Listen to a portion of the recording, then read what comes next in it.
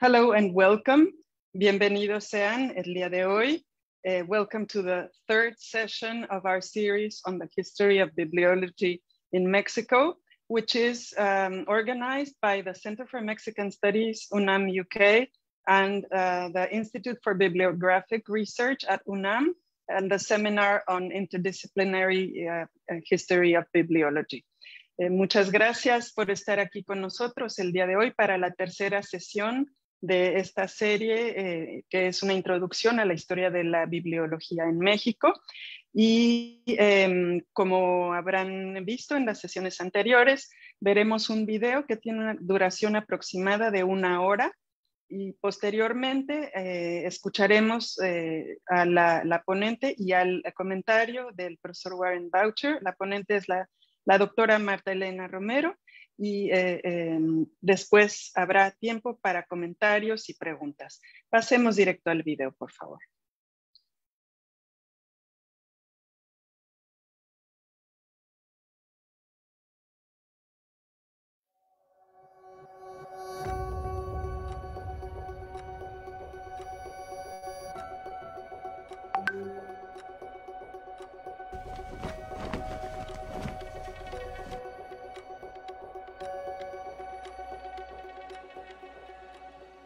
Muchas gracias a todos por acompañarnos esta tarde. Eh, muchas gracias por, por esta invitación. Y bueno, yo quisiera eh, eh, empezar pues recordando que hace algunos años Marina y yo nos reunimos y pues ideamos y creamos el Seminario Interdisciplinario de Bibliología en el Instituto de Investigaciones Bibliográficas de la UNAM. Y quiero aprovechar el espacio para felicitar a Marina como coordinadora y a los miembros del seminario por estos primeros 10 años de trabajo ininterrumpido. Comparto con ustedes que cuando recibí la invitación para participar en, estas, en estas pláticas conmemorativas, me pusieron a pensar en realidad, eh, porque yo quería eh, bueno, pensaba en cómo abordar el tema de la encuadernación mexicana del siglo XVI desde la historia de la bibliología en México. Y pues el, estudio de, la encuadernación mexicana, precisamente del siglo XVI, ha sido un tema que, me atrae, que me apasiona y que, pues, al que he dedicado mi tiempo y mis estudios desde hace ya, ya muchos años. Entonces, bueno, la complejidad eh, la encontraba en un inicio en que hablar solamente sobre la encuadernación mexicana en ese periodo, creí que no abonaba mucho a la construcción o reconstrucción de la historia de la bibliología mexicana.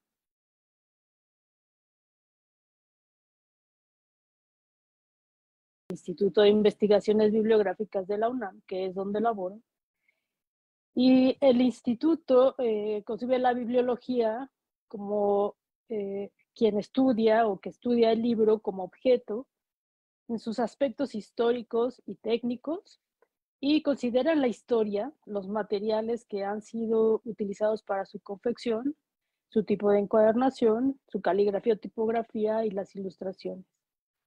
Analiza también la cantidad de ejemplares manuscritos o impresos de diferentes épocas su distribución y sus destinatarios, así como la industrialización y comercialización del libro.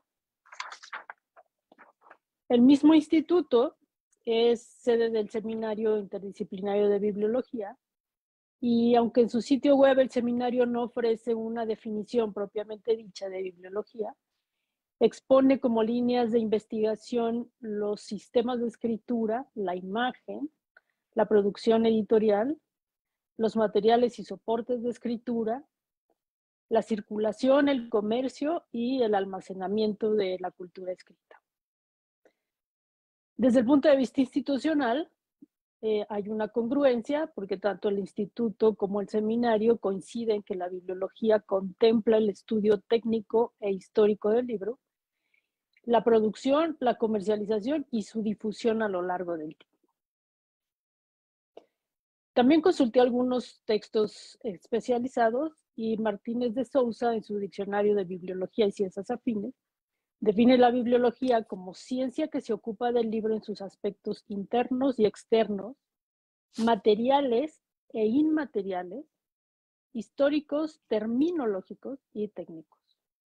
Y ya empezamos a, ver algunos conceptos nuevos, digamos. Y Domingo Bonocore, en su obra de vocabulario bibliográfico, afirma que la bibliología comprende dos partes fundamentales, la primera es, de carácter histórico y se ocupa de, la metamorfosis del libro a través del tiempo. Es decir, el paso del objeto desde las eh, tablillas de, arcilla, los, los, rollos, los códices, etc.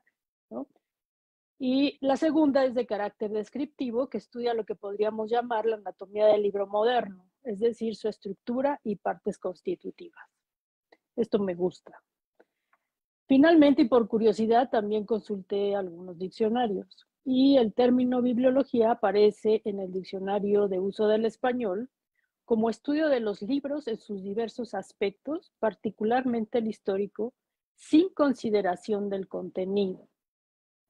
Y la Real Academia de la Lengua dice que trata del estudio general del libro en sus aspectos histórico y técnico. En conclusión, Definiciones de bibliología hay tantas como estudios existen sobre el término, la disciplina y sus, y sus alcances. Dependerá, como normalmente sucede, de la experiencia y la tendencia del autor que trate de definirla. Por supuesto, hay otras fuentes especializadas en la materia que tratan el tema mucho más puntual y con mucho más profundidad. Pero quisiera que tomáramos lo que tenemos aquí para rescatar las coincidencias de lo que hemos revisado y ubicar el estudio de la encuadernación dentro de la bibliología. Considerando lo anterior, podemos decir a grandes rasgos que la bibliología estudia al libro como objeto y como objeto abarca su aspecto físico, es decir, la, escritura, la ilustración, el diseño, etc. Hablo de aspecto. En el material Incluye los materiales constitutivos, las técnicas constructivas y de producción. Y como objeto, también se estudian los contextos de elaboración. Aquí podríamos mencionar el histórico, el económico, el cultural, tecnológico, el de comercio y el de consumo. Aquí el, el consumo es muy importante incluirlo también. La bibliología también estudia el libro como un dispositivo de almacenamiento, por utilizar un término ahora de moda, de la cultura escrita. Desde este punto de partida, la encuadernación es de interés de la bibliología en tanto que es el componente tangible del libro. Es su aspecto material más palpable. No olvidemos además que la experiencia sensorial de lectura la obtenemos de la materialidad del objeto. Así, el libro encuadernado tiene la capacidad de evocación, no solo a partir del texto, también de la percepción a través de los sentidos. De igual forma, la encuadernación hace posible que un conjunto de hojas dobladas o sueltas se conviertan en un cuerpo unido, ordenado y fácil de manejar. Para su comercio, distribución y lectura, Siempre será preferible un libro encuadernado o parcialmente encuadernado sobre uno en rama. Desmenuzando un poco más, y bueno, aquí les voy a compartir algunas imágenes.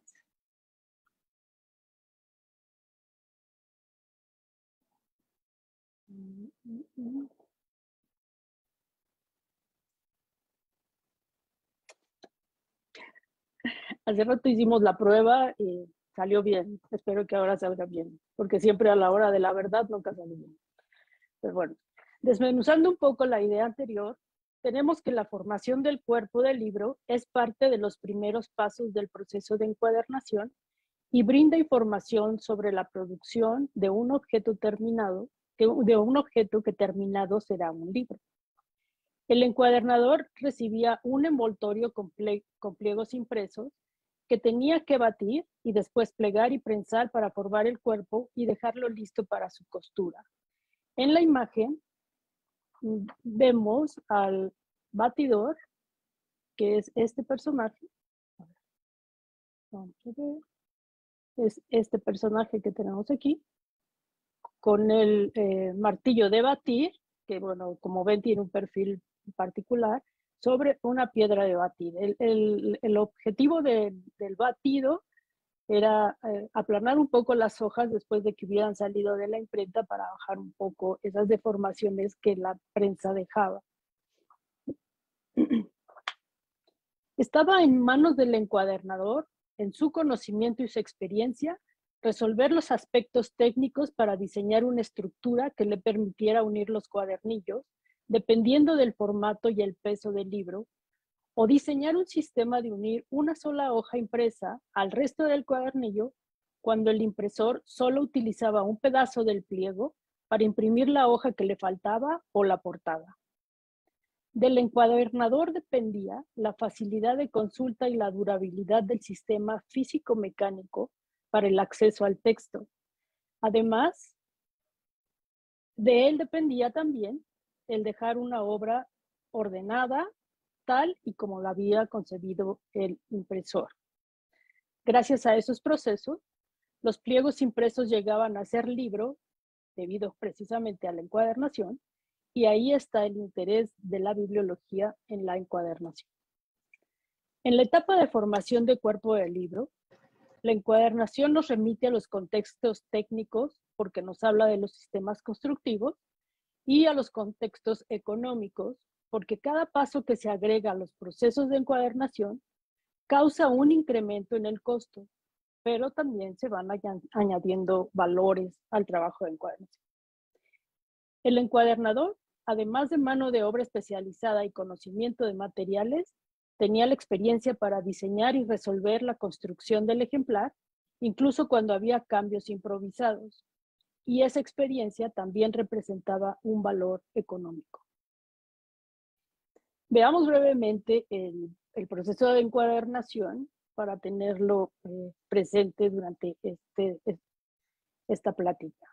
Después del batido, que ya, ya lo vimos aquí en este personaje, eh, las hojas pasaban, bueno, se prensaban y luego pasaban al, al, al, cocedor, ¿no? Que es el que está el personaje que lo tenemos atrás cosiendo en un telar, en un telar de costura. Aquí tenemos otras imágenes sobre la, costura. Y aquí es interesante que vemos que en este, este, personaje y el que está atrás está cosiendo un solo libro, mientras que la mujer que tenemos del lado derecho está cosiendo varios libros en un mismo sistema constructivo. Después de eso se refinan o cortan los cantos. Eh, se podía utilizar un ingenio que funciona como una rebanadora de jamón prácticamente, para dejar una superficie lisa en los cantos y que fuera eh, susceptibles de ser eh, decoradas también y también por cuestiones de, conservación. Conservación no pensado como conocemos el término hoy en día, sino era una manera de mantener los, libros limpios en sus cantos un poco más de tiempo. En, la imagen del, del, lado derecho, aquí tenemos a este personaje cortando los cantos utilizando el ingenio, pero también se podía utilizar un, un cuchillo de dos mangos como el que tiene en el piso. Analizando las marcas que dejan las herramientas, se puede identificar el tipo de herramienta que se utilizó para el corte de los cantos. Una vez cortados, se, decoraban y bueno, se le podía dar un acabado, eh, que era bruñir los cantos para darle un acabado eh, lustroso. Y en, este, en, esta imagen tenemos a un personaje que está decorándolos con la técnica que llamamos moteado. Y del lado derecho, la imagen no es muy buena, pero eh, se está decorando con eh, una técnica que conocemos como marmoleado. Perdón. Después eh, pasaba al, tejido de las cabezadas. Aquí tenemos al personaje eh, con, con el libro en la prensa y bueno, está, está tejiendo la cabezada, que pues es, es un proceso sencillo, pero lleva su tiempo. Bueno, sencillo depende de qué tipo de cabezada quieras tejer, ¿no? Y dependiendo del tipo de encuadernación que se quería, pues entonces eh, habría que cortar y poner las tapas y después se, se recubría, como vemos acá, a, este personaje. Que bueno, en, en, este caso es interesante ver que el mismo encuadernador, pues parece que es el que vendía aquí los libros y está poniendo atención a, al cliente. Esperemos que no tenga una navaja en la mano, porque eso podría ser un poco peligroso. Perdón.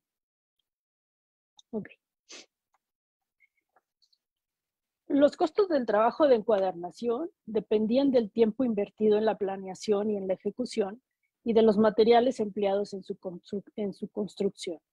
Es posible encontrar estructuras muy bien hechas, con costuras muy bien ejecutadas que reflejan la gran cantidad de tiempo empleado en su elaboración, pero con cubiertas sencillas, sin decoración, como las muy abundantes, flexibles en pergamino, y bueno, este tipo de, esta foto que están viendo aquí es la biblioteca Elías Amador de Zacatecas. Y pues vean la cantidad de libros encuadernados en pergamino, eh, flexibles en pergamino, ¿no? Y bueno, cualquier biblioteca no hispana va a tener una gran cantidad de este tipo de encuadernación. Este tipo de encuadernación se utilizó desde el siglo XVI hasta el siglo XVIII en México y todavía eh, al principio del siglo XIX encontramos algunos este, ejemplos. También es posible encontrar encuadernaciones muy decoradas, pero con estructuras muy simplificadas.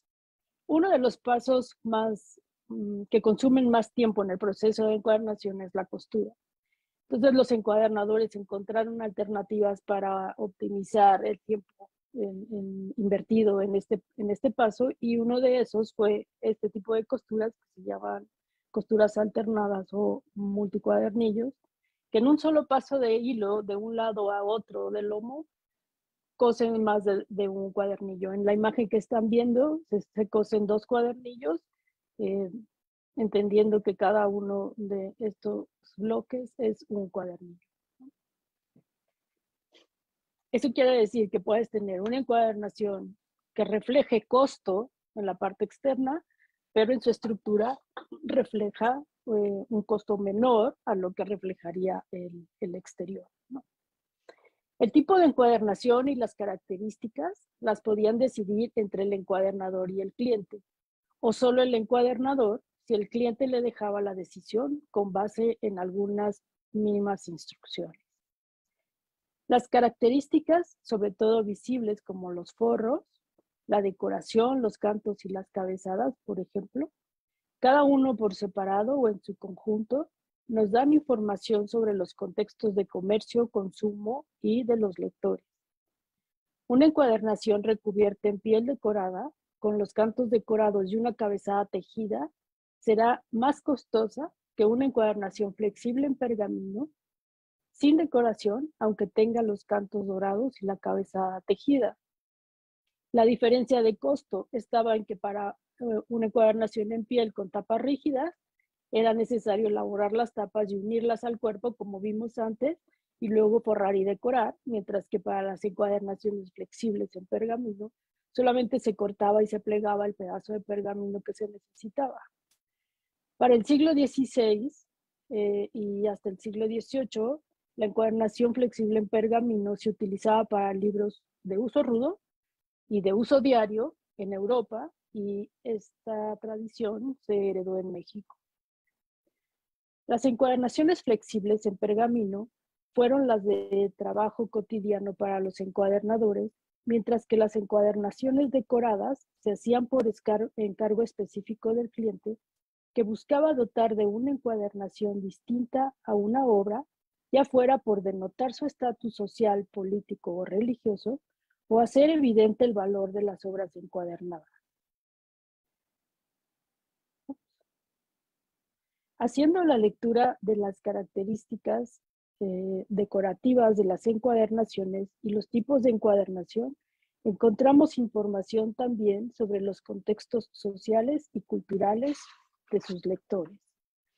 En esta imagen eh, vemos una cabezada, que es este elemento que está aquí, unido al cuerpo del libro mediante cuatro anclas, que son las puntadas largas que unen el elemento, o sea, la cabezada, al cuerpo del libro. Y eh, del lado derecho vemos una cabezada anclada al cuerpo del libro con varias eh, anclas, me parece que son ocho o nueve por ahí. Entonces, una cabezada de esta naturaleza será de mayor calidad que esta y obviamente consumirá más tiempo tejer la que tenemos abajo que la que tenemos arriba. Ese tipo de detalles son los que nos van hablando sobre los costos del trabajo de encuadernación.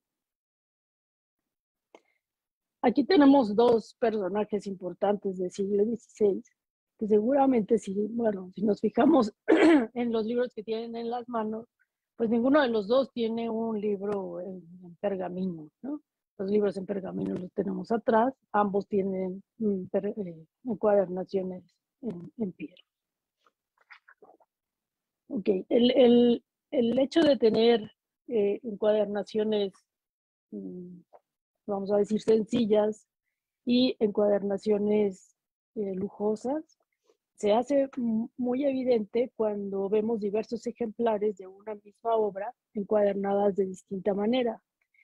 El ejemplo que les muestro es el Sacramentario de Bartolomé de Ledesma, impreso en 1566 por Antonio de Espinosa. En una muestra de 47 encuadernaciones mexicanas del siglo XVI, 8 eran ejemplares de la obra de Ledesma, es decir, el 17%. De ellos, 7 están encuadernados en, pergamino flexible y uno tiene tapas rígidas, recubierto en piel entera, decorado con lazos al frente. Esta obra fue solicitada por Fray Alonso de Montúfar, segundo obispo de México, a Fray Bartolomé de Ledesma, que en ese entonces era profesor de teología en la universidad, y le pidió que contuviera toda la información necesaria para la administración de los sacramentos y así pudiera servir como una especie de manual para los párrocos y frailes que, bueno, que iban a administrar los sacramentos. Esto explica la frecuencia de esta obra en una muestra relativamente pequeña y la cantidad de ejemplares encuadernados en pergamino flexible. Era un libro de uso continuo, de consulta frecuente, que seguramente acompañaba a los religiosos en sus andares. La encuadernación flexible en pergamino es resistente, protege a la obra y es lo suficientemente ligera para su transporte, Además, si se daña, se sustituye con facilidad. La encuadernación en piel, bueno, la que tenemos acá, como ya dijimos, pues bueno, pues seguramente pertenecía a alguien de las altas esferas de la sociedad o el clero. Aunque se ha dicho eh, con frecuencia que, bueno, es una encuadernación en pergamino como hay muchas, Aquí en la imagen pueden darse cuenta que sí, son muchas, pero todas son distintas, todas son pergaminos flexibles, pero todas son distintas. Y si las vemos con detenimiento encontrarán muchas diferencias. Lo mismo sucede cuando las abrimos. No están elaboradas de la misma manera. Hasta aquí queda claro que la encuadernación es el objeto de estudio de la bibliología que abarca la gran mayoría de los eh, rubros de interés para la disciplina, sino es que pues todos los que hemos mencionado, el físico, el material, el contextual y como dispositivo de información. Quiero hacer notar que las citas revisadas al inicio no hacen mención sobre la relación de los aspectos que estudia la bibliología con el contenido de la obra, salvo el diccionario del uso de español, donde se menciona que la bibliología no involucra el contenido del libro. Sin embargo, como acabamos de ver, los aspectos materiales son difíciles de comprender e interpretar correctamente si se estudian por separado del contenido de la obra. El tipo de encuadernación que tienen los libros no es casualidad. Responde a momentos y geografías determinadas en circunstancias particulares de uso y comercio del libro, de los dueños y de los lectores de las obras. Como estudioso y conservador de artefactos, el inglés, Chris Capel afirma que para leer un objeto de manera confiable es necesario adquirir tanta información sobre él como sea posible y saber el significado de esa información. En el caso del libro, la recolección de información incluye conocer algunos aspectos básicos del texto. Thomas Tansel, crítico textual, eh, bibliógrafo y coleccionista de libros estadounidense, en su trabajo sobre literatura y artefacto, demuestra la importancia de reconocer las interacciones que existen entre el contenido textual y las características físicas de la obra.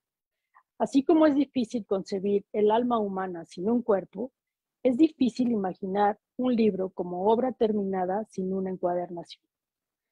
Las interrelaciones entre ambos componentes, alma, cuerpo, texto, encuadernación, son fundamentales para la existencia de uno y otro. Por esta razón, el programa Memoria del Mundo de UNESCO, en su compromiso de fomentar la preservación, acceso y difusión de la memoria documental del mundo, explica que el documento, en este caso el libro, está compuesto por dos elementos, el contenido y el continente, y ambos son igual de valiosos para la cultura de un pueblo. Esta idea la reafirma Odlet en el Tratado de Documentación, donde declara que el libro es, antes que nada, una obra del hombre, el resultado de su trabajo intelectual, y bueno, yo agregaría también su trabajo técnico, para multiplicarlo por numerosos ejemplos, y se presenta también como uno de los múltiples objetos creados por la civilización y susceptible de actuar sobre ella. Esto es propio de todo objeto que tiene carácter corporal y dispuesto técnicamente. En este mismo orden de ideas, Janus Irmae, arqueólogo del libro y estudioso de las estructuras de la encuadernación, hablando propiamente de la encuadernación, afirma que la estructura física del libro, es decir, el sistema de encuadernación, es fundamental para su funcionamiento, o sea, para la lectura del texto. La salvaguarda de su integridad como texto y cuerpo y eh, su supervivencia como transmisor y almacén de información. En esta idea de Sirmay, vemos el papel de la encuadernación en la relación entre el acceso a la información y su conservación, y nuevamente se demuestran los puntos de interés de la bibliología en el estudio de la encuadernación como elemento vinculante entre textos y contextos. Los primeros acercamientos al entendimiento e interpretación de la encuadernación para la obtención de información han sido el aspecto estético, principalmente en los foros. Eh, la, conservación de estas encuadernaciones ha tenido más fortuna que las encuadernaciones sencillas, las austeras, sin decoración, cuyo atractivo está en la variedad de sistemas constructivos, en la diversidad de temas que tratan y sobre todo por ser los libros de mayor consumo que mejor reflejan las características de la sociedad usuaria de una época en un lugar específico. El estudio de los elementos decorativos como los hierros de labor, escudos de armas y la disposición de estos elementos, etcétera, han servido para identificar trabajos de encuadernadores o talleres en particular, o para determinar él o los dueños que pudo tener el libro, o el personaje que regaló o recibió la obra. La decoración también se ha utilizado también para datar las encuadernaciones, sugerir un lugar de elaboración y distinguir características propias de movimientos estéticos. Para el caso mexicano del siglo XVI, la decoración sigue los patrones llamados platerescos, así los describen los españoles. De acuerdo con Carpallo, este estilo decorativo apareció en la península ibérica a mediados del siglo XVI y la estructura de la decoración comprende hexágonos, octágonos y rombos. Sus elementos decorativos con ruedas, que son las que tenemos aquí al centro, y es la que está utilizando este personaje dorador, eh, o carretillas con los típicos medallones de cabeza, follajes renacentistas, camafeos, bustos, escudos y candelabros dispuestos en varios encuadramientos u orlas. Eh, aquí tenemos eh, uno de los candelabros que menciona y bueno, también está, este es un florón, es uno de los hierros más pequeños que están aquí. Estas se llaman paletas.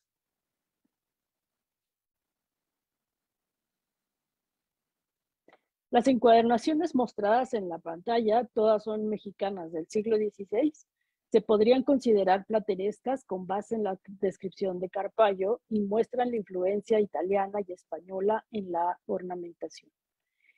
Este hecho se explica porque Italia y España tenían técnicas de encuadernación y decorativas muy similares desde el siglo XVI y hasta el siglo XVIII, y en México, seguramente, llegaron más por España que por Italia.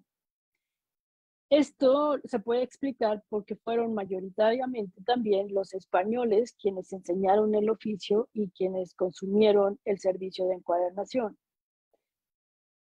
Mm, de acuerdo con, con Pickwood, eh, las encuadernaciones decoradas representan el 1% del material encuadernado a nivel mundial y es a partir de ellas que se han escrito las historias de las encuadernaciones en distintos países. Entonces nos queda por contar el 99% de la historia de la encuadernación también en, el mundo. Y ese 99% eh, lo va a contar o lo van, ah, lo van a contar las encuadernaciones sencillas, las ordinarias, las de poca decoración o sin ella, como las de pergamino flojo las que estaban al alcance de cualquier persona en una sociedad determinada. Este tipo de encuadernaciones que estamos viendo en pantalla, pues son, digamos que encuadernaciones de un cierto sector, de un grupo pequeño que no es representativo de la gran mayoría de una sociedad. A partir de estas estadísticas, Christopher Clarkson y Nicholas Pigwood, conservadores de libros y padres de la arqueología del libro, eh, retoman el trabajo de Sir May sobre arqueología del libro medieval y desarrollan una metodología de aproximación y estudio del libro eh, para la que retoman el concepto de arqueología de Renfrew, eh, quien dice que la arqueología trata del estudio de las sociedades pasadas y ellos agregan del presente a partir de sus restos materiales conocidos como cultura material.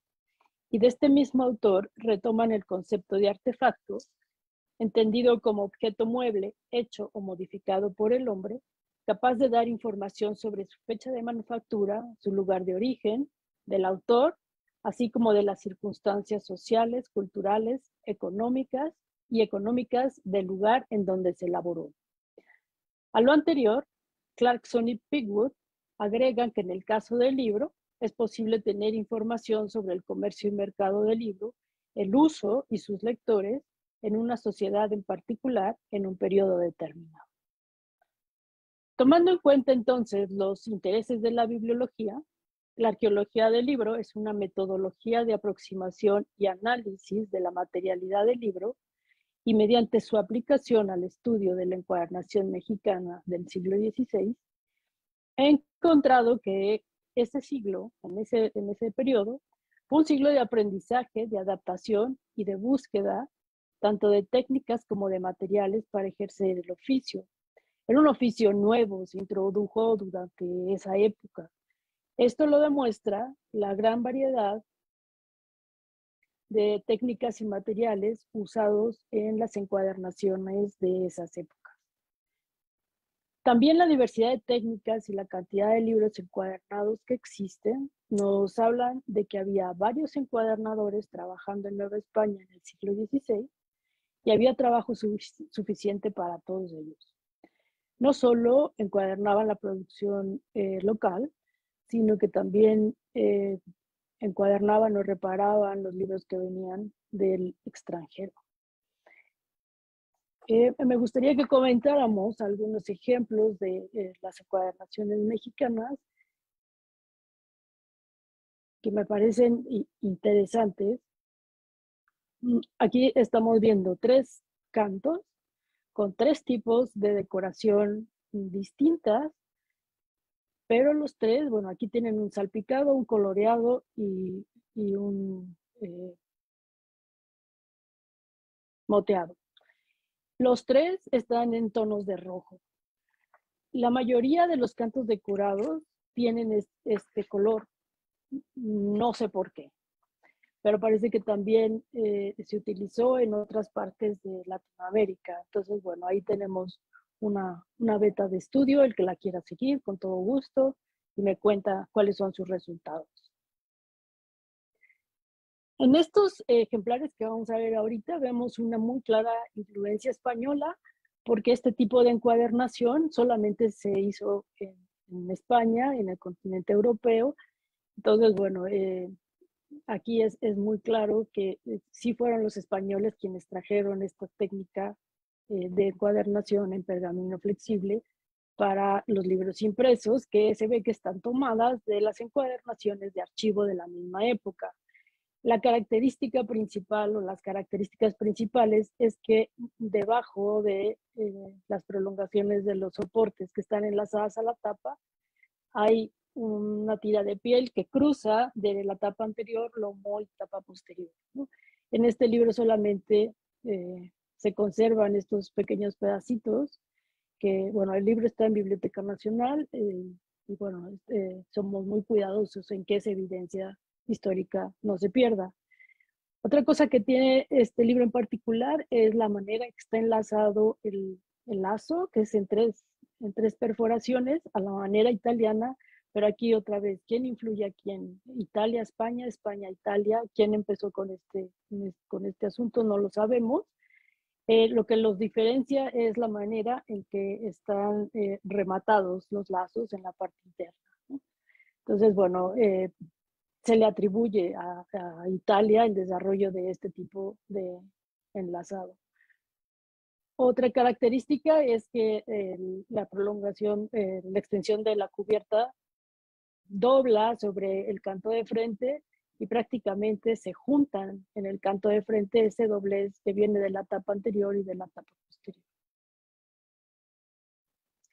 Este es otro caso eh, este es de la Universidad Nicolaita. Y bueno, aquí es más evidente la presencia de, esos trocitos de piel debajo de las prolongaciones.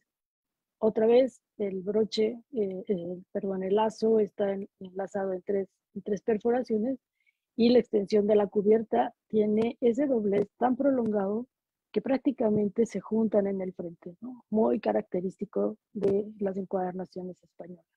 Y en este libro también vean cómo el canto está decorado en rojo. Aquí lo que también vemos es otra vez influencia española, se llama un enlazado divergente en el que las prolongaciones de los soportes de, la costura que tenemos aquí son dos que entran en un solo agujero y luego cada uno sale hacia eh, otro agujero mm, perforado en diagonal al primero. Es este tipo de, enlazado el que tenemos ahí. Esta tabla lo que les muestra son los tipos de enlazado, que, los patrones de enlazado que yo he identificado en, los estudios que he hecho de la encuadernación mexicana siglo XVI. Aquí también eh, la inclinación que tienen los enlazados de las almas de las cabezadas que vemos en las tapas, dependiendo del ángulo de inclinación que tengan, se puede determinar el país y la época en que se hizo. En México, siglo XVI, va de 45 a 65 grados, pero predomina el de 45 grados.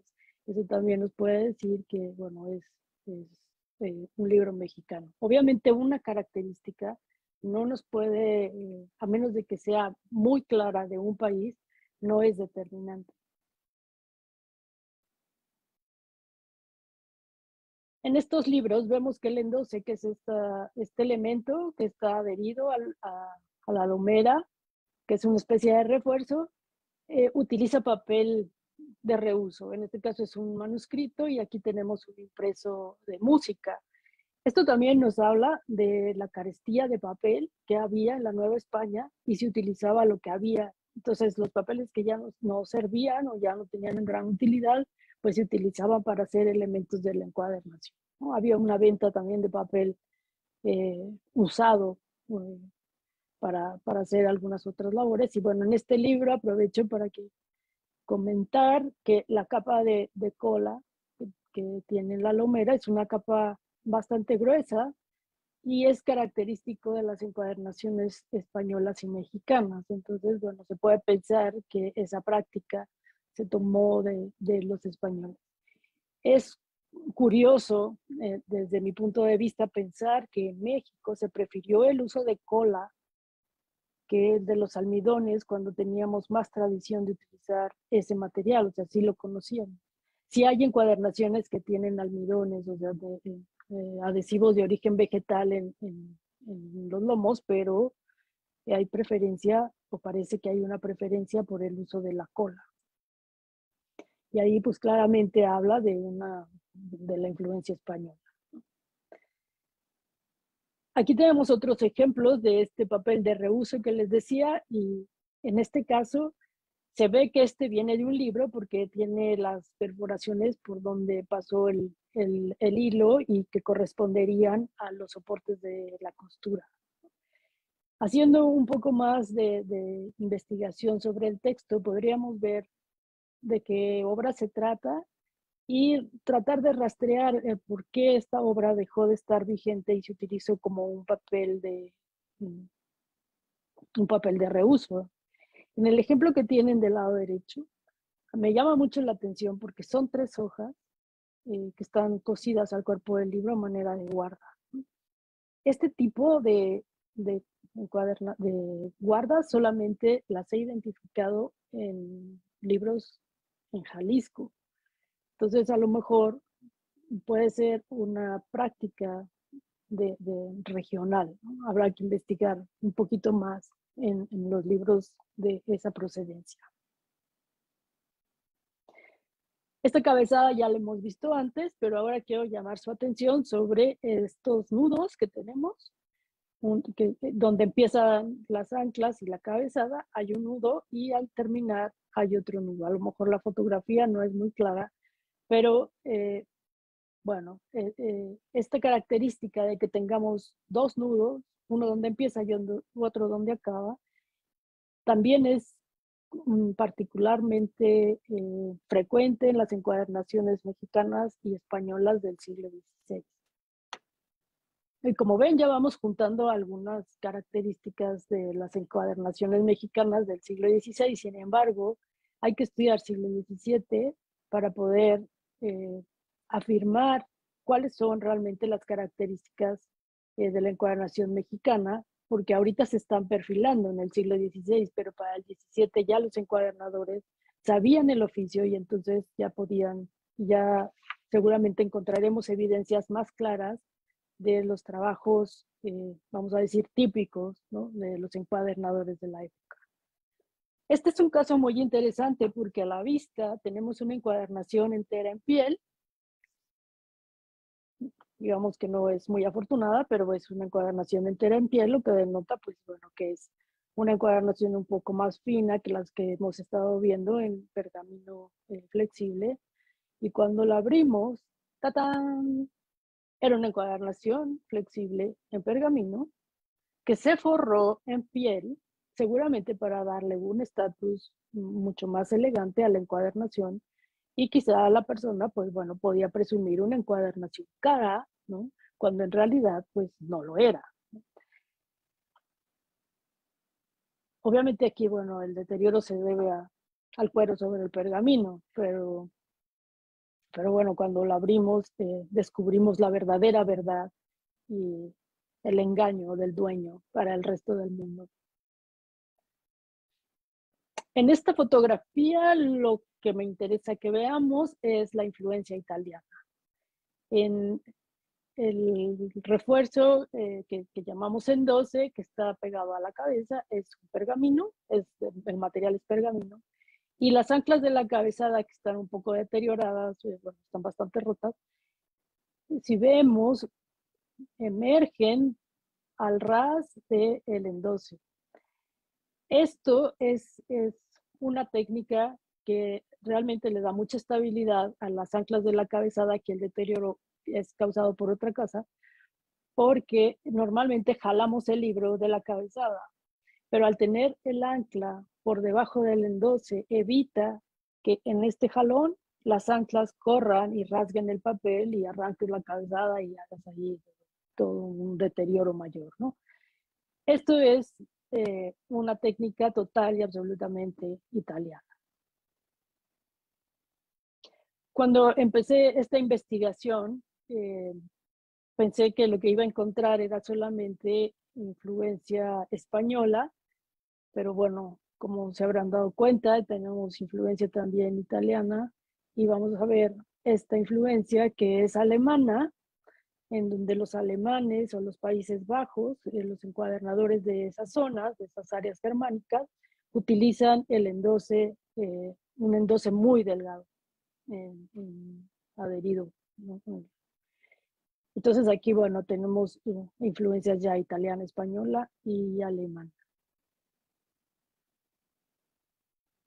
Este libro es interesante porque gracias a que está eh, mm, descubierta la punta, podemos ver qué tipo de cartón es el que se utilizó para las tapas. ¿no? El cartón aparece en el siglo XVI en sustitución de las tablas para las tapas. En México prácticamente no se hicieron libros encuadernados con tabla, se utilizaba ya el cartón y hay varios tipos de cartón. En este caso estamos viendo un cartón laminado porque podemos ver las diferentes, eh, vamos a decir, hojas de papel pegadas una contra la otra. También tenemos otro tipo de cartón que es el prensado, que se hace a partir de la pulpa y solamente se prensa y se pega por, por presión. En este caso puede tener o no adhesivo. Eh, según eh, De León, él encontró en unas tapas del siglo XVI de una encuadernación mexicana eh, papel amate y, y, papel europeo, ¿no? intercalados para formar el cartón. En esta imagen quiero llamar su atención a la, a la manera en que se doblan las esquinas en donde se dobla la vuelta de, cabeza y frente, esta, esta esquina puede tener diversas formas. Tienen ustedes del lado derecho las imágenes o, bueno, los diagramas de la manera en que he encontrado cómo se doblan las esquinas. Y es lógico, porque si hablamos de un trabajo total y absolutamente hecho a mano, quizá deprisa, pues el corte nunca es divino perfecto, como si lo hiciera una máquina. Y además, bueno, cada encuadernador tiene su manera de cortar, ¿no? Y por otro lado, por ejemplo, en, en estos dos casos, pues aquí lo que se ve es que se está aprovechando eh, la pata o, la, parte de la orilla del cuero igual en esta, ¿no? Entonces por eso se ve de esa manera. Es interesante también en las encuadernaciones mexicanas del siglo XVI en pergamino flexible, que los pedazos de, pergamino se ve que, que se aprovechan hasta sus últimas consecuencias. Y eso lo que nos dice es que el pergamino era un material caro, a pesar de la abundancia que había en la Nueva España. Este es un caso muy bonito porque bueno, es el sacramentario del que hablamos hace rato, está bueno en, un poco malas condiciones, pero aquí tenemos un resto del endoce, afortunadamente se conserva, y ese endoce está hecho de papel amate. Esto nos habla de que, bueno, cuando no había material se utilizaba lo que había. El, papel amate es muy flexible y muy resistente y se ve que se sabía ya de esas características que tenía el, amate o el papel indígena o papel de la tierra, como le decían los frailes, ¿no? para eh, aprovecharlo y hacer los elementos estructurales en la encuadernación que requerían de esas características del papel. Eh, también este, como ya mencionamos antes, como es un sacra es el sacramentario que fue casi casi el bestseller de la época, ¿no?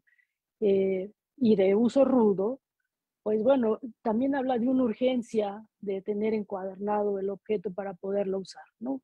De una manera que sea, eh, ¿cómo se llama? Eh, segura. También las características de la cubierta, pues nos dicen que es un trabajo más o menos rápido. Pero también aquí tenemos una influencia italiana en el enlazado de los broches y la forma de doblar la punta, ¿no? Que se dobla cabeza a pie y luego el, frente, dejando cuatro capas de pergamino en las puntas, eso le da mucho más resistencia, no hay corte. Eh, otra cosa que, que bueno, yo he eh, planteado como hipótesis es que el, el, el, amate que se utiliza aquí es un amate color blanco. Y, y bueno, luego encima de él va la guarda, entonces posiblemente el color eh, es intencional, ¿no? Para que no se note por debajo de la guarda.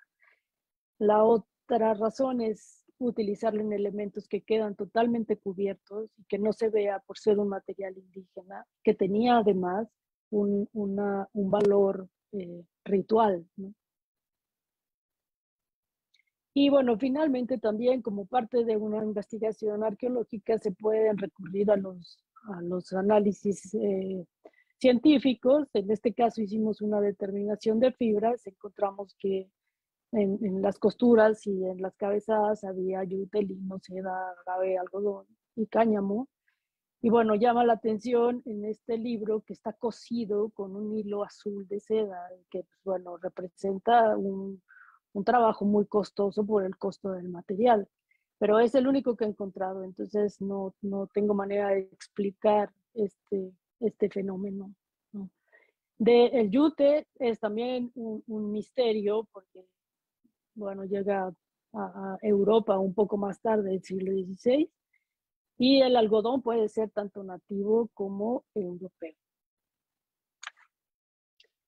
Como vimos en los ejemplos anteriores, la arqueología del libro como metodología de aproximación y análisis para realizar estudios bibliológicos es adecuada Además, da información que no se puede obtener de otras fuentes que no sea el propio libro y su encuadernación. La arqueología del libro es una disciplina nueva en el mundo. Tiene solo 20 años. La gente dedicada a la arqueología del libro se formó principalmente como conservadores de libros. En México, además del Instituto de Investigaciones Bibliográficas, la Escuela Nacional de Conservación, Restauración y Museografía de Lima están haciendo investigación arqueológica del libro, pero seguimos siendo pocos.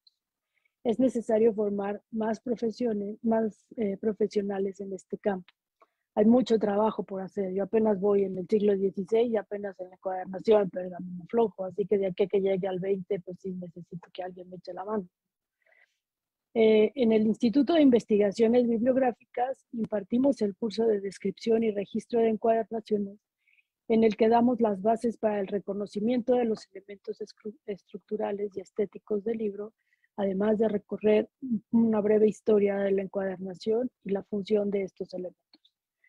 Tuvimos muy buenos resultados y esperamos pronto volverlo a dar. Por último, decir que la arqueología del libro lo estudia como objeto multidimensional desde varias perspectivas que teje e interpreta y muchas de ellas son de interés para la, bibliología.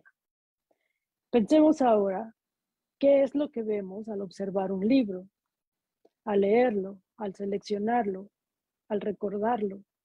¿Qué sentimos cuando tenemos un libro en las manos, cuando pasamos las hojas?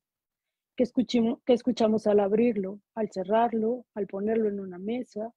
¿Qué olor tiene el papel, la tinta, el retractilado? Ahora los invito a que piensen, ¿qué de lo que evocamos al hacernos estas preguntas está relacionado con la encuadernación? Nuevamente, felicidades al seminario. Muchas gracias.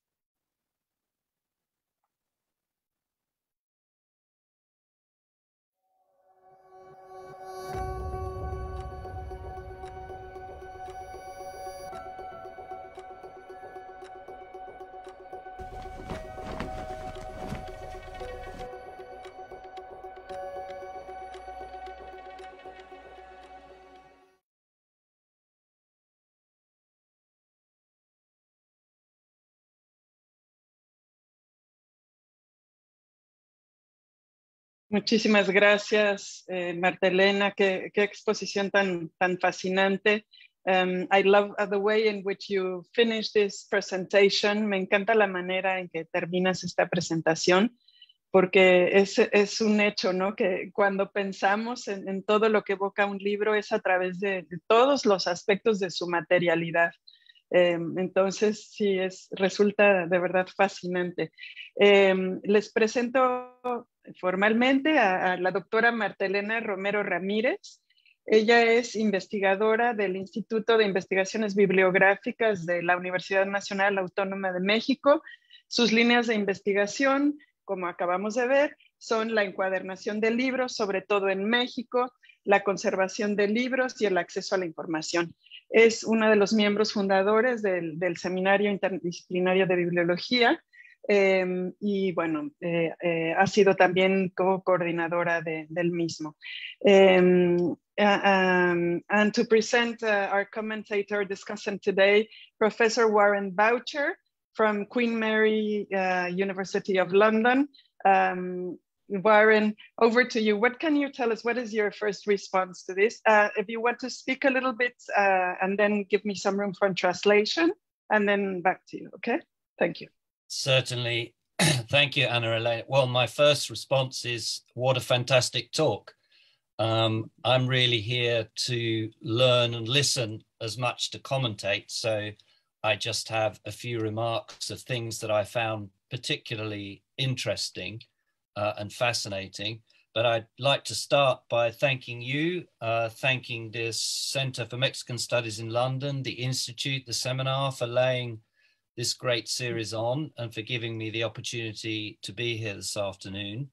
And of course, to thank uh, Dr. Romero for such a, an absolutely fascinating talk. And I may be wrong, but I think Dr. Romero studied at the Legatus Center in the University of Arts in London. Is, is that correct? Um, and you could hear the influence of that in the mentions of the various Anglo-American bibliographers that came up, which I thought was a terrific aspect of the talk to bring together mm-hmm. those uh, bibliographers with this um, current in the history of bibliology, which is obviously centered in Mexico. So I thought that was a particularly interesting aspect to the mm-hmm. talk.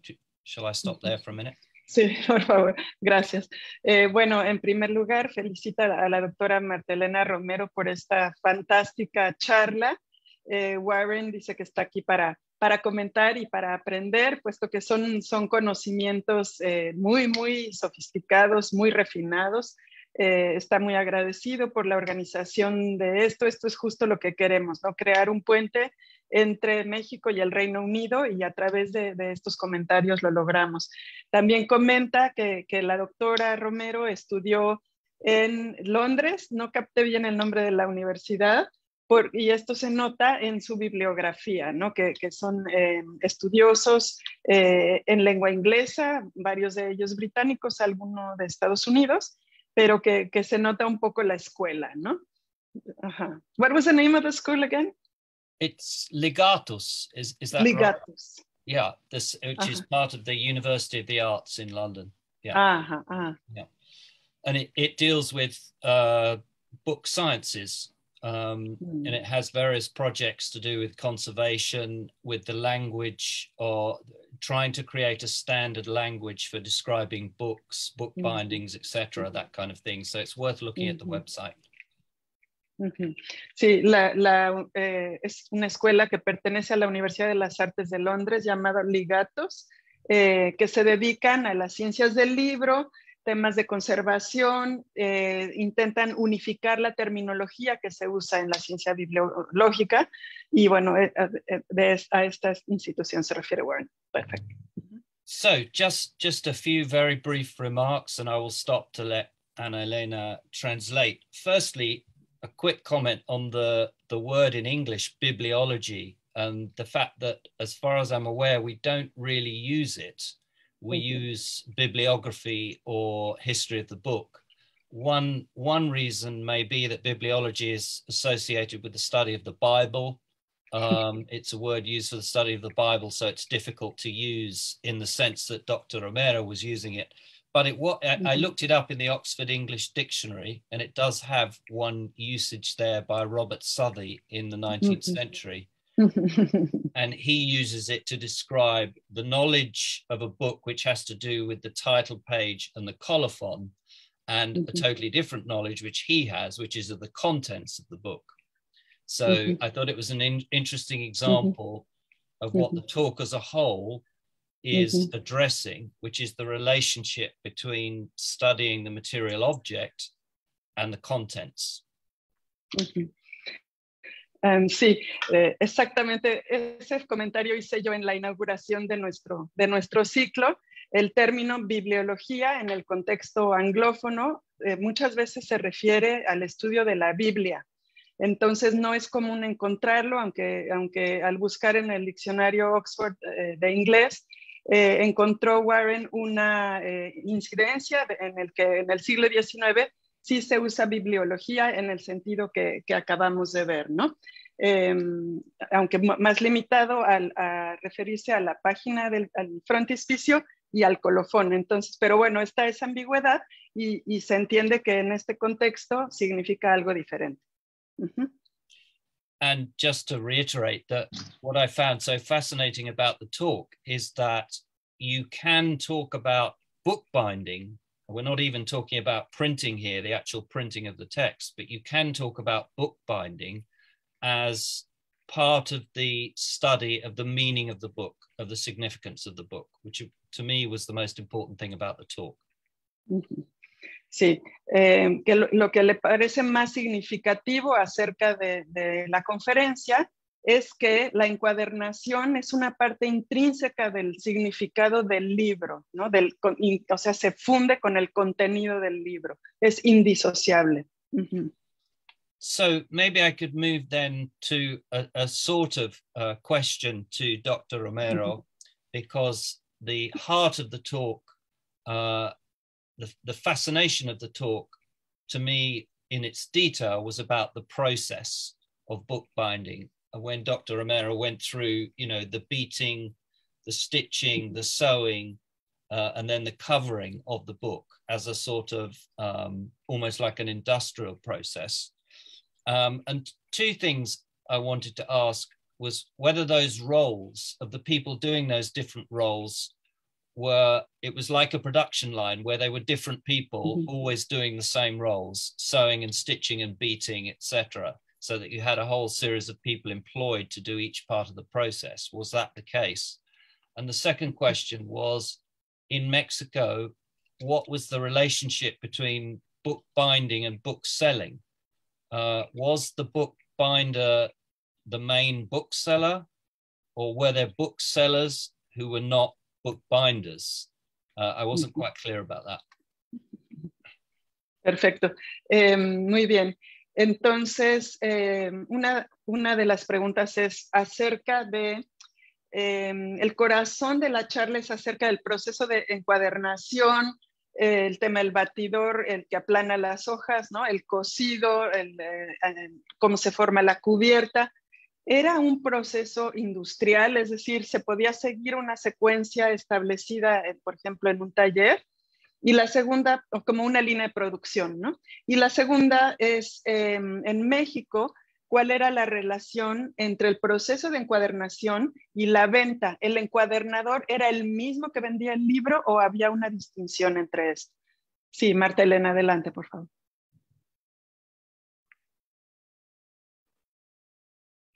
Bueno, muchas gracias, muchas gracias por, por el video también, muchas gracias al, a nuestra sede de la universidad en el Reino Unido y muchas gracias a, al profesor Warren por sus interesantes preguntas.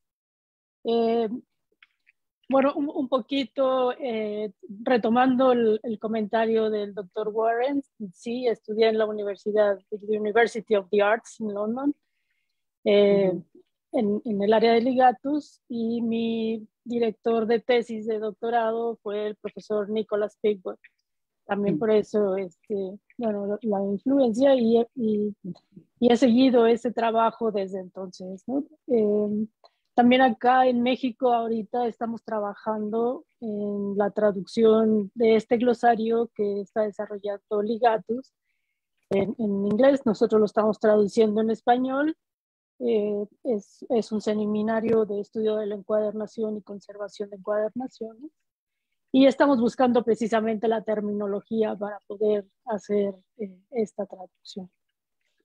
Eh, si quiere, eh, Ana, me detengo aquí y luego Sí, gracias. Sí, gracias. Um, uh, Marta is uh, thanking. It, it's okay. The, I got, I got yeah, all of yeah? that. Uh -huh. Yeah, I got but I, am not sure everyone in the audience did, so I'll do, I'll do it okay. just a summary uh, anyway. Okay. Um, I know the majority of our audience understands uh, Spanish, um, I, I understands English, but uh, still I will do it. Well, we're, we're all a little bit bilingual, I'm hoping. Uh, when, um, so uh, she is thanking uh, for the organization of the series and, and thanking Professor Boucher for his interesting comments. And yes, indeed, uh, she confirms that she studied at the University of the Arts London in the Ligatus Center, which I really need to find out about. I hadn't heard of it. It sounds great. Um, her uh, thesis supervisor was Nicholas Pickwood, whose work uh, she has been cited and she has followed uh, on, on, his line of research. Uh, she is currently working on the translation of the terminology of the, this glossary um, that seeks to unify the terminology used to describe binding. Mm -hmm. Y bueno, retomando, gracias, retomando las, las preguntas de, del profesor Warren. Eh, sí, en, el, en, los talleres de encuadernación había una línea de producción. Eh, eh, a veces sí era un solo encuadernador el que hacía todos los procesos, depende del tamaño del taller de encuadernación. ¿no? Entonces eh, podemos tener desde un, solo encuadernador que lo hacía todo o un grupo de encuadernadores que hacía cada uno un, un proceso y se especializaban prácticamente en ese proceso solamente. Eh, y en, eh, en, en México tenemos muy poca información todavía sobre cómo estaban organizados los talleres de encuadernación en esa época. En siglo XVI hay el registro del el taller de encuadernación que existía en la escuela de Tlatelolco. Y ahí se habla de encuadernadores en plural. Entonces nos eh, da la idea de que había más de uno, obviamente, trabajando en eso. Es, es un área que todavía hay que investigar un poco más, ¿no? Eh, si quisiera pues hacer mención que el estudio del encuadernador, de la encuadernación, como se mencionó, eh, pues se ha hecho a, partir de, de, las encuadernaciones más fastuosas. Y esto pues ha dejado de, de, lado todavía el estudio del oficio como oficio. Entonces, bueno, todavía tenemos algo más que trabajar ahí. Okay. Um, yes, there was a production line. Sometimes, depending on the size of the workshop, one person could do it all, or they would have uh, specialists for each one of the, of the different jobs. Um, there is little information about binding workshops in Mexico. There is one register uh, in Tlatelolco, which is a name that comes up again and again, um, where they speak of binders in plural. So we think that there were several of them. Um, but she also would like to mention that the study of binding has been based on, on luxury bindings, leaving out uh, the vast majority of bindings that existed. So it, it needs uh, to refocus on, on the plainer type of bindings. Sí. Okay, yeah. Thank you. Uh -huh. Y en la segunda pregunta, eh, la relación que existe entre el encuadernador y el vendedor de libros o el librero eh, sí hay registros de que algunos impresores daban el servicio de encuadernación y incluso, e incluso algunos eh, impresores como Pedro Valli, por ejemplo, también sabían encuadernar. Entonces, bueno, sí hay una, una relación, digamos, si encontramos una relación entre el impresor y el encuadernador. En cuanto al vendedor de libros, eh, todavía estamos un poco eh, oscuros en, esa información, pero hay, algunos registros que dicen más bien los vendedores de libros que trabajaban con los impresores. Ese vínculo nos puede llevar al vínculo que habría entre el encuadernador y el vendedor de libros. Sin embargo, tomando en cuenta que el oficio de la encuadernación se manejaba como negocio como lo hacían en Europa, no es difícil pensar que en México se haya heredado ese mismo sistema. Okay. Um, about the second question, no? the relationship between binder and bookseller. Uh, some printers were also binders, we know that. Um, there, there was a connection between them, but we do not know much up to now about uh, the connection with booksellers. Some records uh, sh do show that uh, booksellers had connections with uh, printers um, and that um, uh, binding was uh, following the European model of business. So this might have also been inherited, but we still don't know about it. Yes. Mm -hmm. I have uh, several other remarks, Anna Elena, but you you can stop me at any point if you want to bring in other people from the uh-huh. chat or. Um, uh, let's go on for five more minutes, and okay. I, am going to take this opportunity to tell our audience that today we are going to finish uh, a, a, little earlier, so 15 minutes before the hour. Vamos a terminar 15 minutos antes en la sesión del día de hoy. Entonces vamos a, a escuchar comentarios eh, un poquitito más y después pasamos a los del público. Y si no, siempre hacemos llegar todas las preguntas a nuestra conferencista. Okay. Gracias. Oh. Thank you. So I had two, I wanted to pick out two particularly fascinating points about the material aspects of the books and the materials used. One of them was the section at the end of the talk about waste paper that was used in the bindings.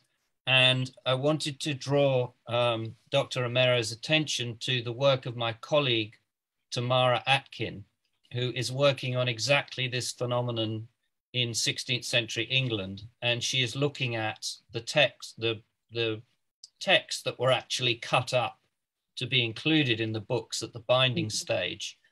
And she uh, is finding that, of course, in Reformation England, the books that they tended to cut up were medieval Catholic books, which no longer mm-hmm. had any use.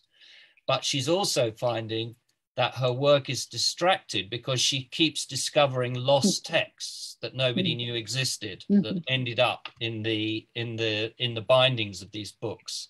Um, so that isn't really a question. That was just a, um, I can give the details mm-hmm. afterwards of my colleague. But my mm-hmm. question was about papel amate, papel mm-hmm. europeo, which was fascinating. And um, I just wondered if Dr. Romero could say any more about that, because I understood that this papel amate had ritual uses for indigenous people and that it was perhaps hidden. It was, as I understood it, it was covered so that people could not see the could could Dr. Romero say any more about that? What the ritual mm-hmm. uses were of this paper, and and and whether mm-hmm. that could indeed be the case that it was hidden for that reason. Mm-hmm. Perfecto.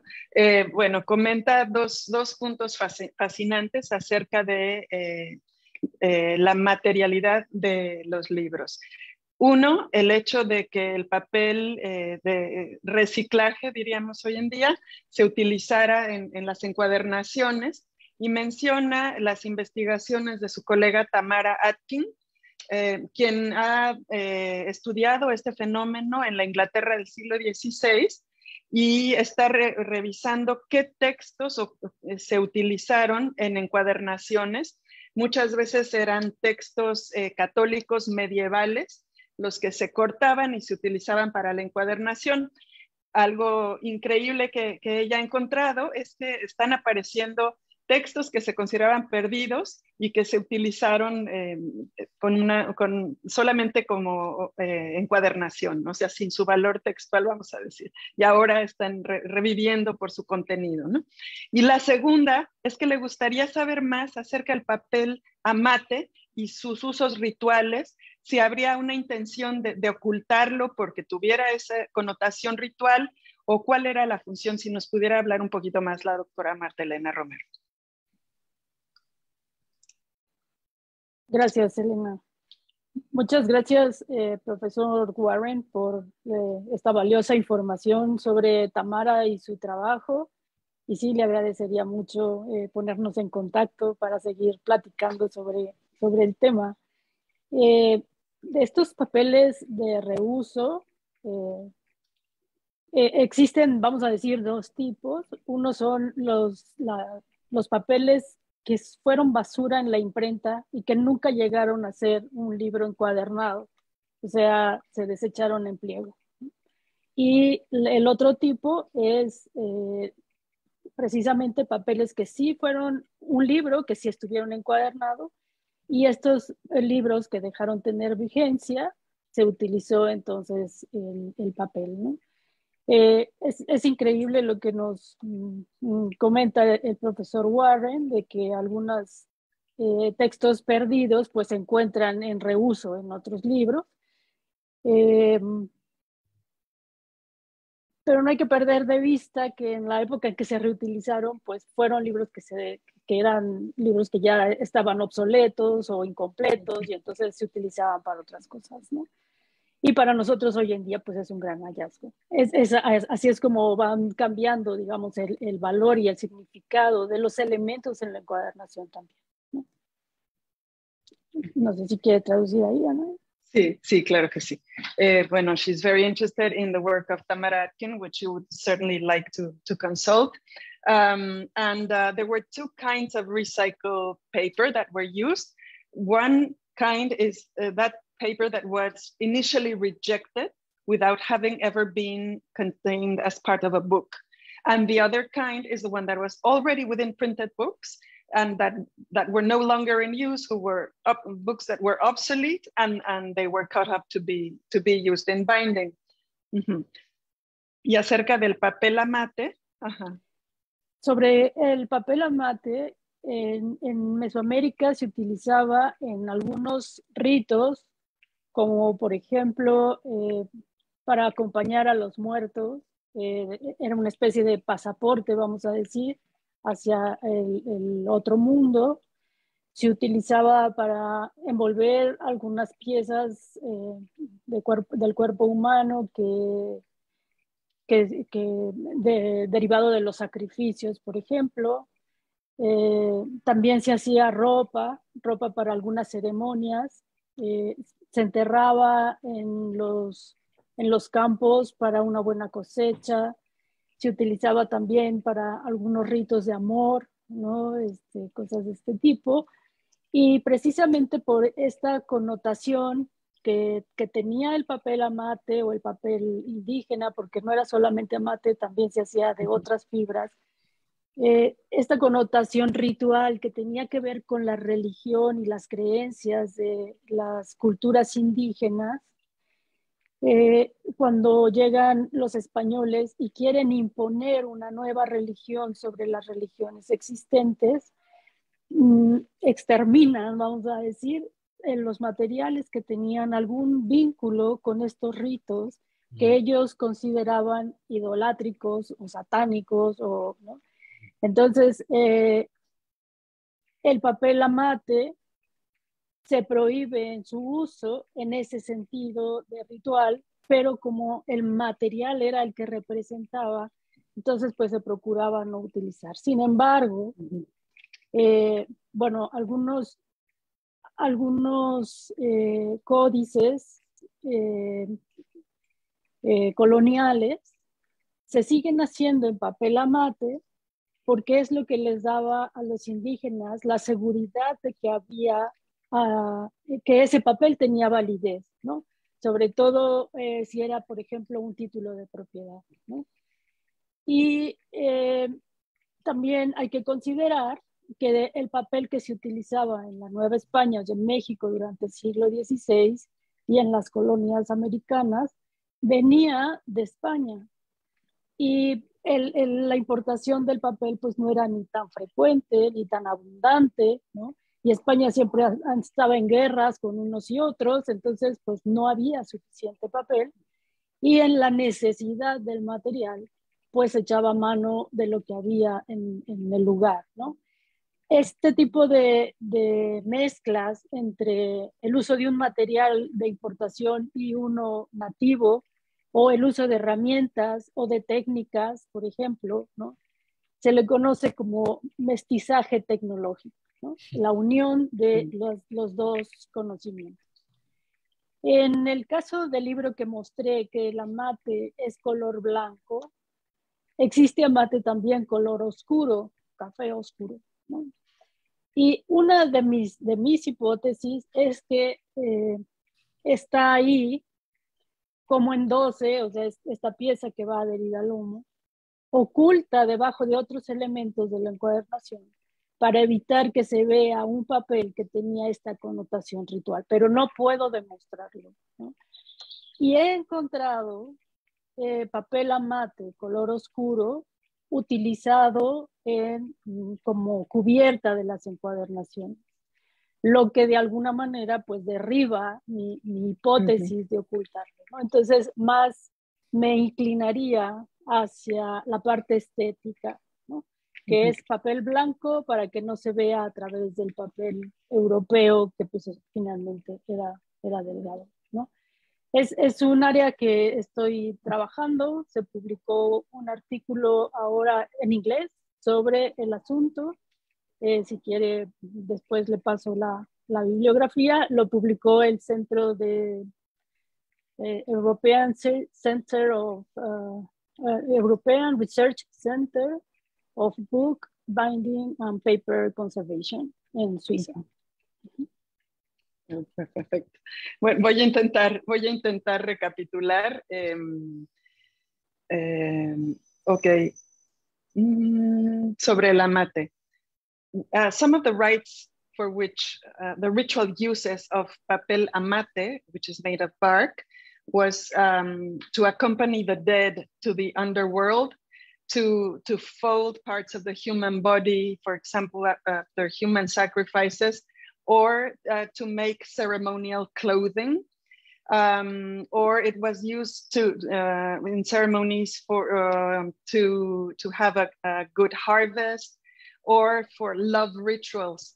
Um, the the connotation of uh, a mate paper uh, in relationship to um, some rituals that for the Spaniards were idolatrous or even satanic, um, made them in a way exterminate the, the, uh, the, materials that were associated to these practices. Um, so uh, amate at one point was, um, the, the ritual use of amate was prohibited. Um, so uh, as a symbol of that, they, they avoided using it. However, there are certain colonial codices uh, that were done in Amate because for the indigenous population, they represented a guarantee that they had uh, legal validity. So um, paper in the New Spain tended to come from Spain, but it was scarce. So sometimes out of necessity, they had to use amate. Uh, the, the mixture of materials as well as the mixture of uh, the instruments, the tools of the trade is known as technological mestizaje, this um, mingling of, of, uh, of two, two different cultures. Um, in the, the, book with White Amate uh, that, that she showed us, uh, the argument is that perhaps it is hidden um, in, in order, her hypothesis could be that it is hidden in order to hide um, its presence because of its ritualistic connotations. But it is very hard to demonstrate uh, this, uh, and it is actually mm, there are actually other books that are have bindings made with dark amate, uh, which uh, wouldn't make this hypothesis work. Um, the aesthetic justification must be more um, more accurate. Um, she just published an article about this, and uh, we would be very happy to if you could uh, uh, share that with us in, in the in the chat, uh, Martelena. Um, but it, this can be later. Muy bien, ahora sí creo que voy a dar paso a, a la lectura de, de, de las eh, preguntas que nos dé tiempo en, en el chat. Eh, eh, como siempre, les recuerdo que eh, quienes asistan al, al 80% a 8 de, de, estas conferencias tendrán eh, derecho a una constancia de asistencia con valor curricular si llenan el formulario que está publicado en, en el chat. Eh, hay muchas felicitaciones, fascinante. Les recuerdo, por favor, sus preguntas de preferencia, diríjanlas a la cuenta de UNAM UK. Eh, Carlos Lozano, eh, bueno, Lupita Jorge dice fascinante, Carlos Lozano, muy interesante poder conocer los tipos de encuadernación de esa época. De Mosh eh, Erutaja, ¿cómo se llama?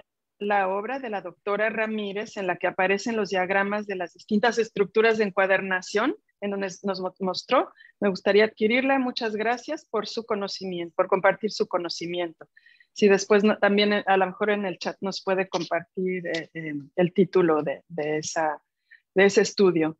De Lorena B, muchas felicidades a Marta porque ha dejado eh, a sus estudiantes ganas de continuar con la investigación de estos maravillosos objetos. Totalmente de acuerdo. De Cecilia Angélica Cortés Ortiz, muchas felicidades a la doctora Romero por su maravillosa exposición. De Olivia Hernández, me encantó. Uh, de Sara Ostrak. Many thanks and congratulations to Dr. Romero. Fantastic talk. Very glad to see the strong connection between form and content. Le encanta la, la, conexión entre forma y contenido. Nina Schneider, um, thank you very much for your interesting presentation. I appreciate how you placed uh, history and practice of bookbinding in contact within the study of bibliography.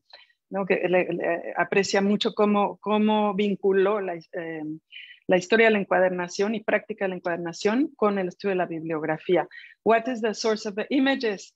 Showing binders decorating the, the four edges, sprinkling, marbling, etc.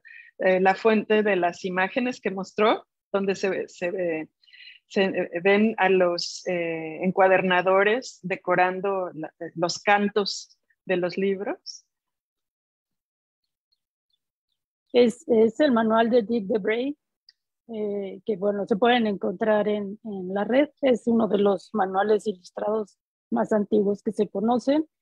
Hay un facsimilar en la British Library. Genial. Perfecto. De Luis Ángel Alberto García Ortiz, felicidades, doctora Marta Romero, por su estupenda exposición. De Ana Castañeda, gracias por la excelente presentación. Felicidades a la doctora Marta Elena Romero de Lourdes Guevara, excelente exposición, muy interesante, muchas felicidades. ¿Qué enfermedades, si es que las hay, suelen hospedar este tipo de libros? Es decir, por su antigüedad, seguro se deben manejar con cierto cuidado, por lo que supongo que alguna sorpresa biológica o contaminante se debe encontrar. ¿Cómo se tratan? ¿Hay alguna disciplina que se ocuparía de esto? Creo que es una gran pregunta, es decir, muy compleja, pero si nos pudiera dar uh, a short explanation about the type of illnesses uh, that these books may catch and how to treat them. Muchas gracias por la pregunta. Este, estos libros, al igual que todos los libros, están sujetos a los mismos deterioros y a las mismas eh, eh, enfermedades, vamos a decir, ¿no? Como lo dijeron, eh, que cualquier otro libro. En realidad, eh, para ellos como para libros contemporáneos, etcétera, salvo por la cuestión material, dependerá mucho de las condiciones de conservación en las que se almacenan estos libros y la forma en que se manejan. ¿no? Eh, en mi opinión, eh, el libro nació para ser consultado. En, entonces, bueno, la precaución es solamente no forzar su apertura porque las estructuras, pues bueno, son viejitas, es lo mismo que pasa con, con, un anciano, ¿verdad? No lo vamos a obligar a que haga cosas que un joven haría. Y, y son, bueno, pero de todas maneras son estructuras muy, eh, son resistentes de todas formas. Eh, yo lo que aconsejaría es más bien investigar en qué condiciones han estado los libros antiguos que se quieren consultar. Les puedo asegurar que los que eh, puedan consultar en la Biblioteca Británica, que por cierto, eh, la Biblioteca Británica tiene la colección más grande de impresos mexicanos del siglo XVI y desafortunadamente solamente uno de ellos conserva parte de su primera encuadernación. Entonces, bueno, ahí tenemos una gran pérdida. No, no es, vaya, no fue una decisión de la Biblioteca Británica, sino que se han ido reencuadernando con el tiempo. Incluso hay, libros impresos que fueron reencuadernados en el 17, 18. Entonces, pues, bueno. Pero si quieren conocer algunos impresos mexicanos, eh, la, la, británica es. Y también en la Biblioteca Británica, en su página, en su página web, tienen algunos panfletos sobre conservación y manejo de colecciones bibliográficas muy buenas, que se los recomiendo ampliamente para ahondar un poco más en, en esta pregunta y en estos cuidados. Lo que sí es recomendable siempre es lavarse las manos antes de consultar uno de estos libros y lavarse las manos después de consultar estos libros. No, no chuparse el dedo para pasar las hojas, por ejemplo, y procurar no estornudar enfrente del libro. ¿no? Ahora en las condiciones de COVID que hemos estado viviendo, pues ya estamos acostumbrados a tener estas precauciones con más frecuencia. Perfecto. Um, the British Library has the largest co collection of 16th century Mexican books. Uh, so yeah, uh, it, it's good, to, very good that you point this out, but only one with its original binding. Um, also on, on the British Library website, you can find pamphlets about how to look after a book collection of this kind.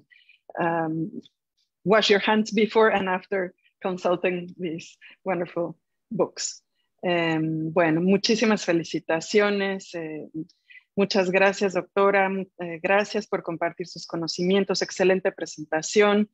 Eh, estudios sobre costos de encuadernación en México en el virreinato. ¿Hay estudios de este, este tema? Eh, no, no, tenemos el costo exacto, ¿no? Una encuadernación así y así, no, eso no, todavía no, no hemos encontrado, pero sí, como mencioné, pues se puede más o menos deducir el que era una encuadernación más costosa o menos costosa dependiendo de las características de, de la encuadernación. Perfecto. De Paulina Michel, eh, excelente exposición, apasionante tema. Muchas gracias y felicitaciones a la doctora Marta Romero de Alberto Medina Rodríguez. Gracias, un tema muy importante para comprender el contexto de la comunicación en la época y que atrae también el tema de las artes aplicadas en la producción de objetos, ciertamente. De Pilar Espejel, inagotable tema en el que intervienen infinidad de disciplinas, muy cierto.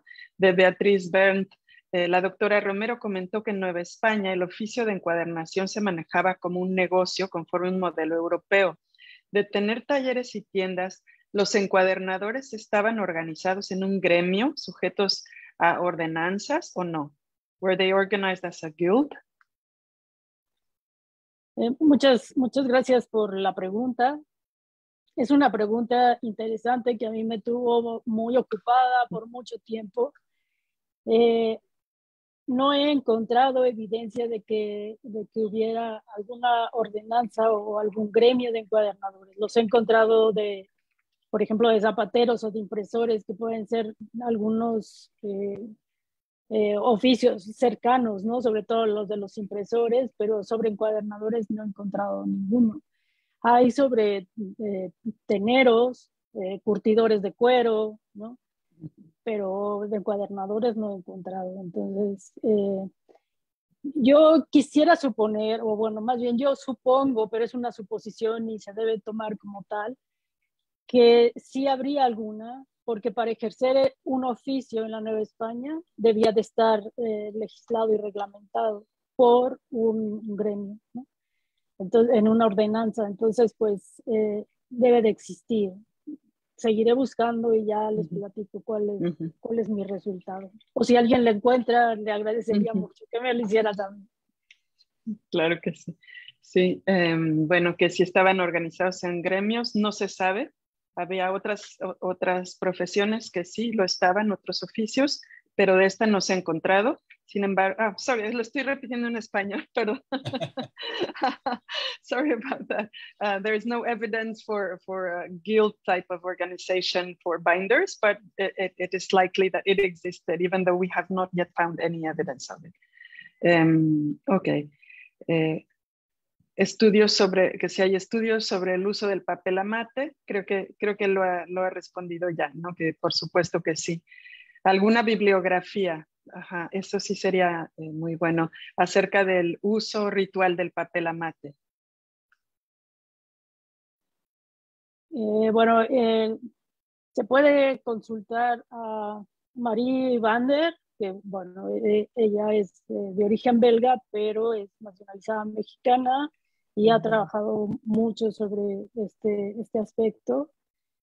Eh, los arqueólogos mexicanos tienen trabajo sobre, sobre el, el, el, uso del papel amate en los rituales y en mi tesis que ya compartí la liga en el chat, este, en la parte, bueno, de bibliografía, ahí también pueden encontrar algunas otras fuentes. Excelente.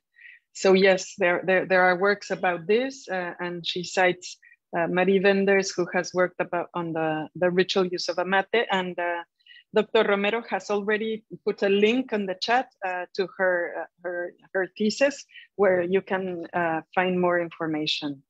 De Cantuta Heréndira, eh, felicitaciones, doctora Romero, excelente presentación, muy ilustrativa.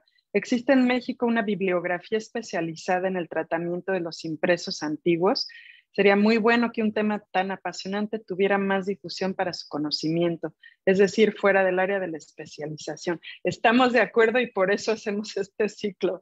Eh, so, uh, bibliography about how to treat uh, early printed books. Bueno, También, sí, ¿no? Sí, sí, sí, hay, sí hay bibliografía en español y, y bueno, estos este, eh, booklets que les comentaba sobre de la Biblioteca Británica, ¿no? Eh, prácticamente no porque sean mexicanos o porque sean ingleses eh, merecen un trato distinto en el, en el, sentido de libros antiguos, sino que más o menos digamos que hay pautas generales para el trato de todos ellos. ¿no? Y bueno, la, la, información la pueden encontrar ahí. Perfecto. Ok. Eh, de Élica Ortega. Muchas gracias a la doctora Romero por su genial presentación. Me interesó mucho la idea de las muchas variaciones que existieron en la encuadernación mexicana del siglo XVI, un momento previo al establecimiento de las características propiamente mexicanas y muy temprano en la colonia. Como objetos arqueológicos, los volúmenes revisados tienen señales de algo que actualmente podríamos considerar hibridación o contacto cultural. Bueno, creo que lo, lo, he explicado un poco. El uso del papel amate junto al papel europeo sin duda es uno, pero hay otros. muchas gracias por la pregunta. También a mí esto me, me causó mucha, mucha sorpresa y me gustó mucho encontrarlo. Fue muy interesante para mí porque al principio de la investigación yo pensé, como lo mencioné, que solamente había influencia española. Sin embargo, pues ya vimos que hay de otros países. Todos estos eh, lugares estaban eh, bajo el, dominio español, lo que nos habla de, una globalización, ¿no? utilizando un término actual, del conocimiento dentro de las colonias españolas. Sí había movimiento de gente y de técnicas, ¿no? Entonces, eh, sí, el mestizaje lo podemos ver en el libro, es muy evidente, no solamente en, la encuadernación, también en, en, las imágenes, en la tipografía, obviamente la convivencia del papel con el papel amate, las fibras, por ejemplo, como el, la fibra de agave, el algodón, conviviendo con el lino, que en México no había y no hubo, eh, o con la seda, por ejemplo, ¿no? También. Ahora, también eh, hay herramientas que se utilizan en la encuadernación que en México no había, por ejemplo, las tijeras, o sea, todo lo que se hacía de hierro. Eh, eh, los indígenas cosían con, con las puntas de los magueyes, ¿no? Y bueno, cuando llegan los españoles, pues introducen las agujas de, de, de hierro, ¿no? Entonces, ahí este, este mestizaje tecnológico es muy evidente durante el siglo XVI en, los libros. Y eh, eh, también lo podemos ver, por ejemplo, mm, mm, los mexicanos tenían muy buenos cueros, muy bien curtidos, ¿no? pero no hacíamos pergamino. Entonces, ¿por qué, ¿por qué hay tantas encuadernaciones hechas en pergamino cuando no producíamos ese material? Y, y pues es, es, una herencia totalmente de usos y costumbres europea. Entonces el material era importado en los primeros años, o por lo menos los primeros años, me atrevería a decir que hasta el siglo XVI podemos decir que el material era importado por el uso que se, le, que se ve, el uso en las portadas, como lo comenté, ¿no? El, el uso en las, perdón, en las cubiertas, que, que, que, utilizaban hasta el último pedacito de pergamino. Entonces sí, eh, eh, el material era caro para un libro de uso común, pero era un, un, una herencia cultural europea. Mm -hmm. Bueno, um, yes, there, there, there were um, quite a few. For example, uh, fibers made in the, the, the fibers of the threads, agave, and cotton along with silk and linen, for example. Also tools, everything that was made of iron constituted this, this type of cultural hybridity. Um, uh, uh, the indigenous people used maguey tips as needles, but then there were in, imported iron needles. Uh, there was good leather that was made in the New Spain, but no parchment. So one wonders why there were so many um, parchment books uh, as well. They were expensive material, but part of a cultural heritage. Bueno, me voy a seguir un poquito más rápido. Um, de Olga Serna, sería muy interesante que se impartiera nuevamente el curso sobre estudio y reconocimiento de encuadernaciones. Es, es, así es. Eh, muchas gracias a todos. Uh, esta es la liga al trabajo de tesis donde vienen los esquemas. Muchas gracias, doctora Marta Elena. Eh, Mosh, eh, mis respetos a la doctora González. Ah, bueno, hacemos el esfuerzo, gracias. De Fernando Telles, adem además del Colegio Tlatelolco, donde se encontraban los principales centros de encuadernación en México durante el siglo XVI. ¿Quiénes estuvieron a cargo de estos centros? En el Virreinato de Perú también se, existieron centros de encuadernación en este mismo siglo. Si es así, en donde muchas felicidades a la doctora Romero por sus investigaciones sobre la encuadernación. Ojalá continúe sus investigaciones sobre siglos XVII y XVIII. Eh, son muchísimas preguntas. Eh, en Nueva España no hubo ordenanzas ni gremios de impresores, ah, comenta Marina. Muchas gracias, Marina. Y aquí pueden ver los esquemas nuevamente. Eh, de Coco, ¿de qué manera está usted y sus colegas abogando para que esos libros se regresen a México? Eso es todo un tema. Eh, bueno, las, las, ligas para seguirlos. Eh, muy bien, mm, pues ha sido, ha sido una conferencia fantástica. Em, muchísimas gracias a todos ustedes. Vamos a concluir aquí. Warren, I don't know if you want to say a few uh, concluding words, please. Uh, gladly, just to say, I thought this was an absolutely fascinating talk, uh, full of uh, important information and uh, new ideas. And I just wanted to thank uh, Dr. Romero once again um, and wish her all the very, very best with her future work. Muchas gracias. Eh, le, le, pareció fascinante y le desea lo mejor a, a la doctora Romero. Eh, Marta Elena, ¿quisieras comentar alguna cosa para concluir? Pues dar, darles las gracias por su tiempo, su interés. Muchas gracias al profesor Warren por su retroalimentación y, y su trabajo de traducción a, a Elena y sus intervenciones. Y a todos ustedes por las preguntas que, que, tan interesantes que, pues, que me hacen llegar y que no solamente eh, pues me parece que abren rutas de investigación nuevas, sino también que me hacen pensar y bueno, agradecer a Marina la precisión sobre las ordenanzas. Y bueno, eh, estén pendientes en, el, en, la página web del, del, Instituto de Investigaciones Bibliográficas, porque bueno, eh, para, para el curso se anuncian ahí, ¿no? También.